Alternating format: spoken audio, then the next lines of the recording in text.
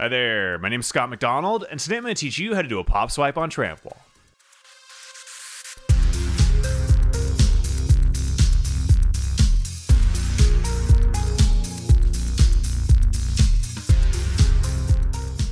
Pop swipes are a lot of fun, and since they're basically a cross between a 540 kick, a 360 face pop, and a vampire, the more of those you can already do, the quicker and easier this learning process is going to be.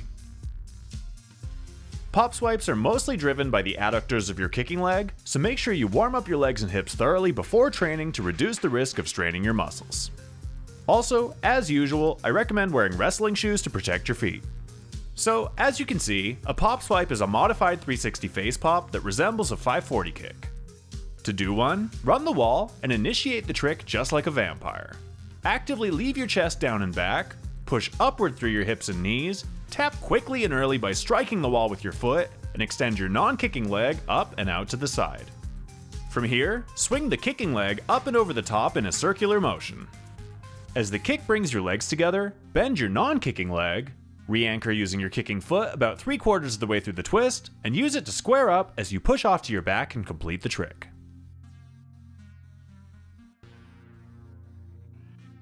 Now, while various tap configurations are technically possible, they tend to look and feel pretty cumbersome, so to keep things simple and clean, I like to tap, kick, and re-anchor all using the same foot. Also, notice that unlike a regular pop full, where everything turns in unison, in a pop swipe, your kick is going to carry your lower body slightly ahead of your torso. This slight disconnect between upper and lower body is a byproduct of approaching your pop swipe like a real kick, as you'll notice the same exact thing happens when kicking a ball or doing martial arts. Now, as far as visual reference points go, as I run the wall, I like to spot an imaginary target above the corner, then as I start the kick and turn over, my gaze shifts to the face of the wall.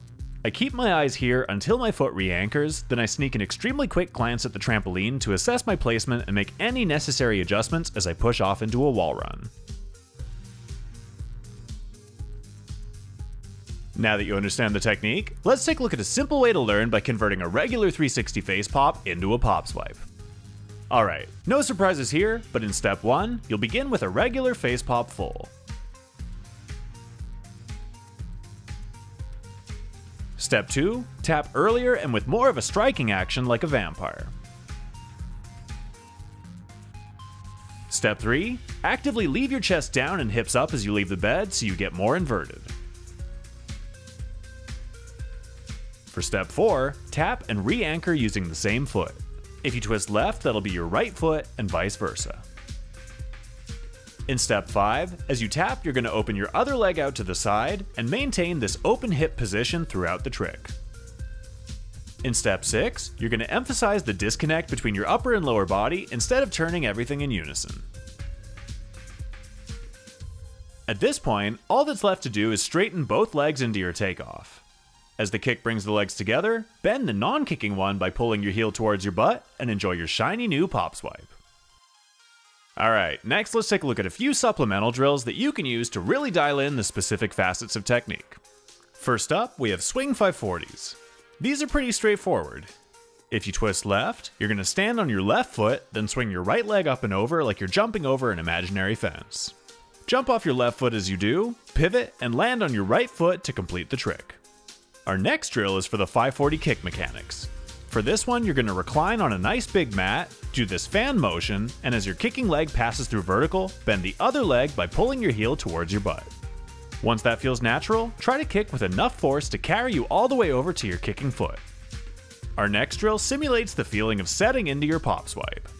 For this, you're going to stand beside the big mat on your kicking foot, swing your other leg upward, and then blast a kick over it to land on your side.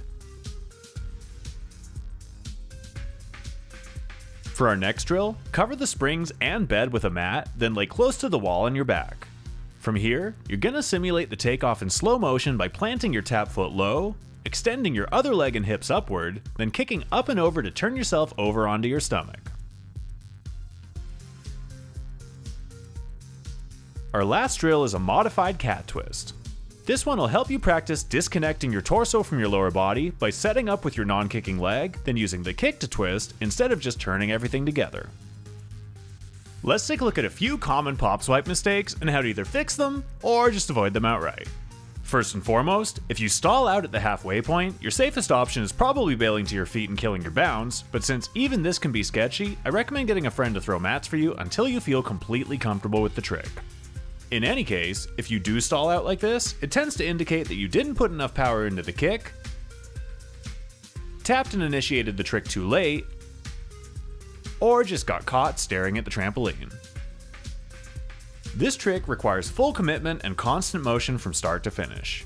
Just like a vampire, you need to initiate the tap almost immediately after leaving the bed, and a half-hearted kick that just snaps and goes loose isn't going to be enough to carry you through the entire trick, so kick like you mean it. With that in mind, other kicking issues include kicking in a linear way instead of a circular one, which won't work, or keeping both legs straight the entire time, which won't look like a 540. That said, if you keep your legs closed or bent, there won't even be a kick in the first place. Make sure you're starting with your legs extended and open, swinging your kicking leg in an arc, and bending the other leg as they come together. The kick direction can also be a bit confusing. Even though you set your legs upward into the trick, the kick itself happens more off to the side. Don't be in a rush to look for the trampoline, as this might throw your timing off, and also make sure you're not kicking in one direction while looking somewhere else. On a related note, if everything twists together, it's going to look more like a regular 360 face pop than a pop swipe, so don't be afraid to let your torso lag slightly behind your lower body during the kick. Lastly, in terms of placement issues, this trick does require you to stay pretty close to the wall, and that can feel a bit claustrophobic at first. If you're genuinely too close, there is a risk of catching a leg or foot on top of the wall, so if you find yourself in this situation, I recommend bending your limbs and pushing off the face of the wall to stay safe. On the other end of the spectrum, if you push too far out, you won't be able to re-anchor before you go to your back. If this happens, try not to panic and just use the next bounce to redirect yourself back into a wall run.